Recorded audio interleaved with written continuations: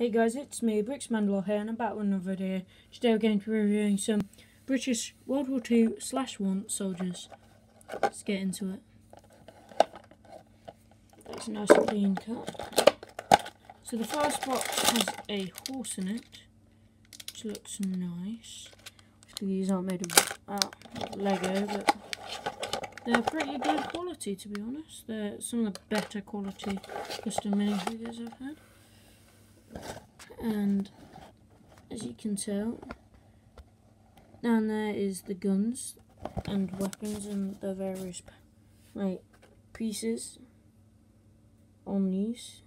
So we've got the stand the machine gun machete shovel revolver combat knife and grenade. In here you have a horse a soldier with his hat and all his arms and a rifle so let's get into this. I just want to show you guys the horse. Um, the horse looks decent quality. I it's it looks similar to a Lego horse, so it should be pretty nice. Um, so that goes there, and that goes there. That goes there.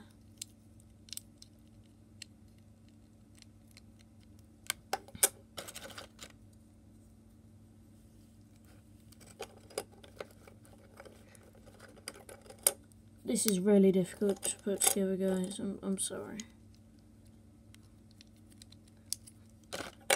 I don't know. Kind of disappointed.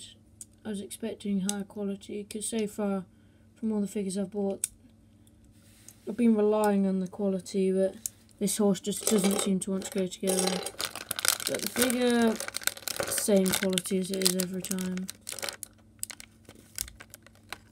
disappointing. Right, so we're going to get into the next one, which has a motorbike in it. The guy in here, so he actually comes with a Brodie helmet instead of a cloth cap. No, he doesn't, he comes with a red like, little cap. He comes with a rifle and then the motorbike, which is just a basic rifle. I'm not going to open it because, yeah. I'm probably going to replace the red cap, that's like going on the sunlight, I don't like it. Oh, we've got an MP18 there with the thing. Then we've got a combat knife, revolver, shovel, machete and grenade as we're doing this one. So yeah, guys, overall this has been a pretty decent box. It's not been the highest quality that I've had before, but beggars can't be choosers. Yeah, overall it's a really good set. It's disappointed with the horse, but you know, sometimes you get good stuff, because sometimes you get bad stuff. You never know. Overall, guys, this has been good. See you in the next one. Bye.